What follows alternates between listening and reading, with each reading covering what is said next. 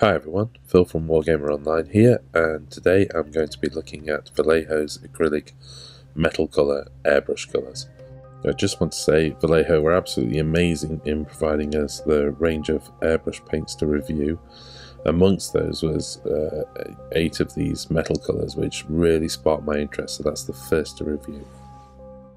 Before we get into looking at the paints, I just wanted to start by looking at a couple of items from the uh, online manual. Um, first and foremost, um, it's saying that the metal colours can be applied directly on models without the need or use of a primer. Although in the case of fuselages and components for airplane models, it's recommended you apply a glossy coat. So that's really interesting.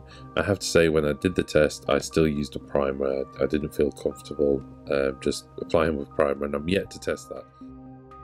The next is that the range consists of a total of 19 references, all in 32ml bottles. Um, I received uh, 10 in total, one of them being the gloss varnish, so there's nine of the colours I'm reviewing today. But this really is an extensive range and very interesting in terms of how it's been provided straight for application into the airbrush. Okay, so let's get into this. First, I'm looking at the aluminium. I mean, these things are great. They come in a huge bottle, 32 mils, good quantity of paint. The consistency is perfect for airbrushing, it's really fluid, and the amount of pigment contained in these is incredible. I mean, I'm just wiping up the surface there, and you can see how much metallic pigment there is contained in these paints. Here we see an example from Vallejo's own publicity material, and as you can see, the effects you can achieve with these paints just look absolutely stunning, so I really couldn't wait to get to trying these out. The colours I received was pale burnt metal, dark aluminium, dull aluminium, gunmetal grey, gold, copper,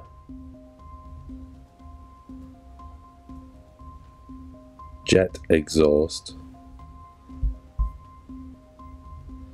exhaust manifold, and the metal varnish.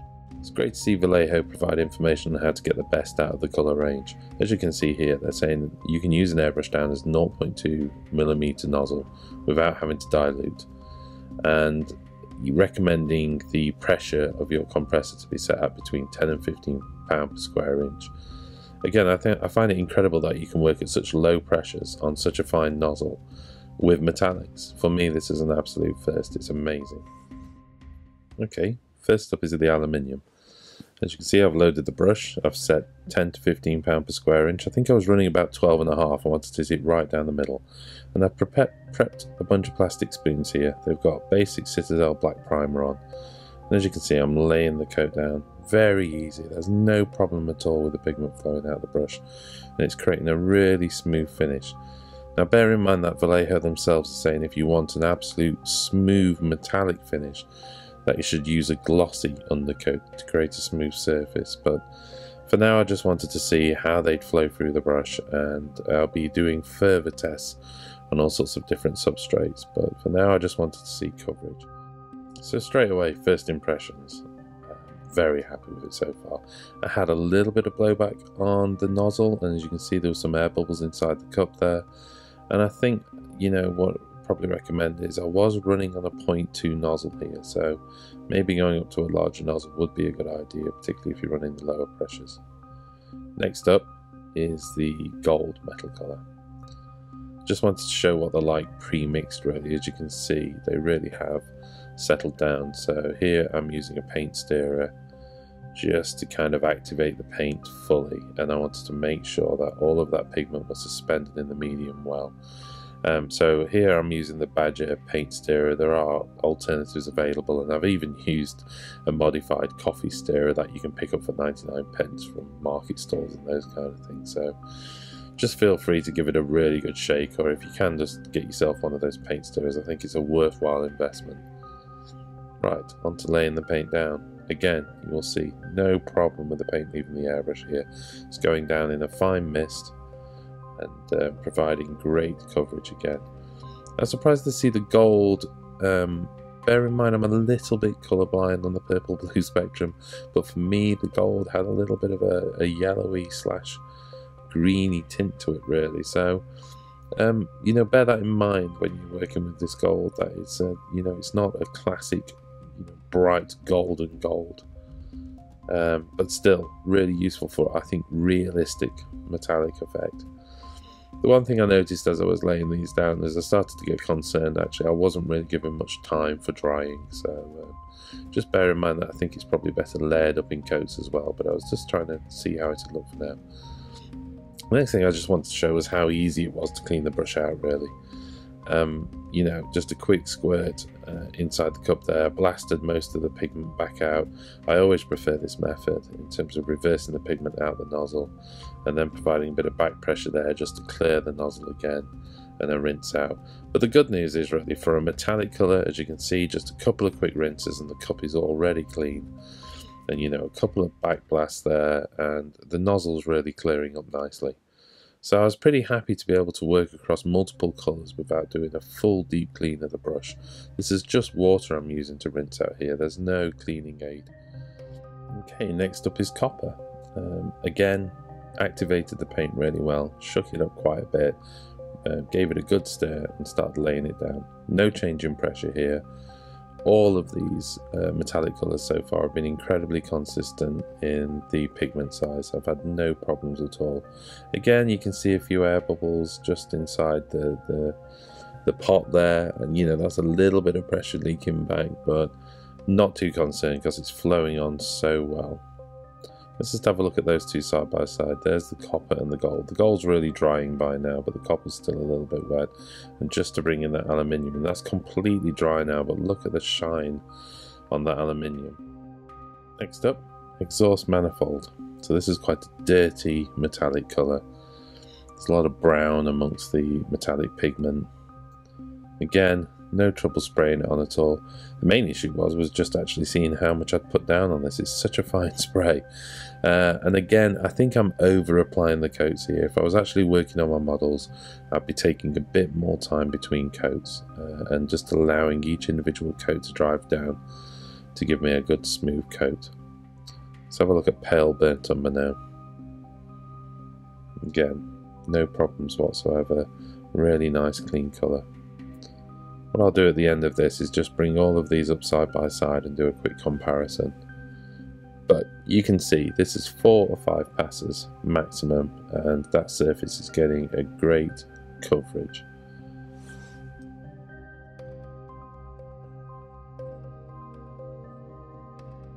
Let's just look at the pale burnt metal alongside the aluminium You can see it's subtly different.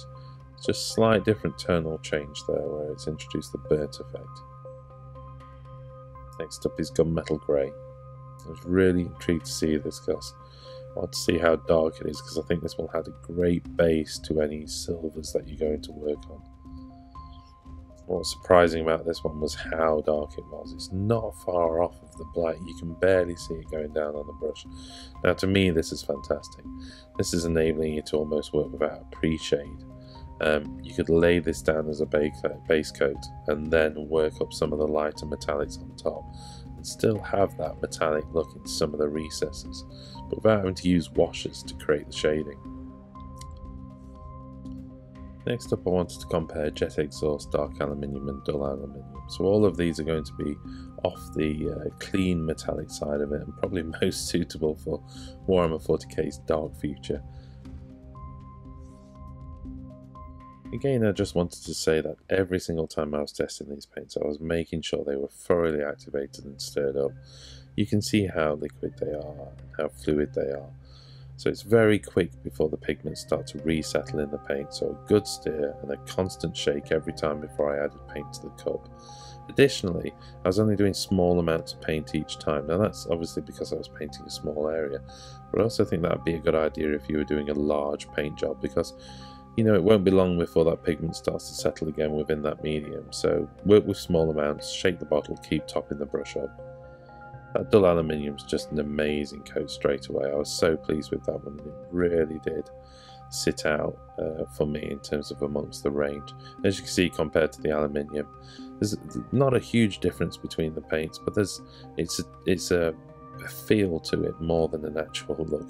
You can see it's just slightly off the uh, gloss side of it. Moving on to the dark aluminium. Again, this is giving you such range really.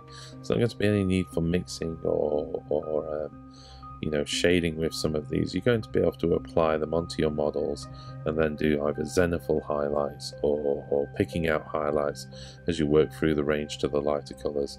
And they're really going to blend well into each other.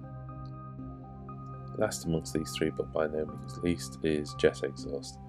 A really interesting pigment mix here. You've got the metallic, of course, you've got that burnt metallic feel. There's a slight brown tint in there. There's a lot of depth to these colours, so I think they're going to be a really useful range for me. Let's just have a look at how they turn out once they were dry. Aluminium worked perfectly, something that actually polished up really well. Next up was the copper, and again, great depth of colour to that copper.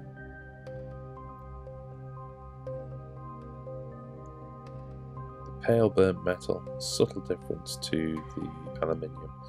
And I think really that was the first sign I saw the problem with me putting too thick a coat on. As you saw, there was a little bit of crackling in the surface there. Exhaust manifold, again, great deal of depth, but still maintaining that metallic colour. Gold. I have to say out of the entire range, that was the only one I was not so sure on in terms of the colour. I think it's a realistic looking colour, but I was hoping for something a little bit more yellow. Gunmetal grey, again, perfect for some of those deep metallic colours that you're looking for. And dull aluminium, one of my favourites, I have to say. I think that'll be really useful for the Kharadron Overlord. Dark aluminium, again, great shading area for that dull aluminium and both the normal aluminium. And then finally the jet exhaust. So that's the full range. I was really impressed with how they turned out. Um, I think you can tell from the uh, review so far. I was super impressed with these paints. The level of pigmentation, uh, how quickly and smoothly they went through the paint, the effect you achieved, uh, just fantastic. Like I say, one cautionary note, and you'll see it on the inside of the spoon on that gold uh, colour there. Applying it too thick, you do get a little bit of shrinkage on the paint, which can introduce cracks. But um, as you can see, um, I think that was just me, you know, experimenting and wanting to do a deep coat for the review. And really, if I was doing my own models, I'd slow down a bit and not be in such a hurry to lay down that second coat. A little bit of drying time in between. So, final thoughts yeah, incredibly impressed with the range. I'm definitely going to be using these as my preferred metallic colour for airbrushing, I have to say. Um, I've been impressed with Forge World, I've been impressed with Minitaire metallic range, but this range that Vallejo have produced is really top notch. It's just incredible. Um, my next Age of Sigmar army is going to be Kharadron Overlords, and, and, for those of you who are fans of Age of Sigmar, you'll notice they are a predominantly metallic army. So I'm really looking forward to diving into those models using this airbrush range and seeing what I can achieve. Well, that's it. I hope you enjoyed the review and I hope to see you again soon. Thanks for watching. Bye.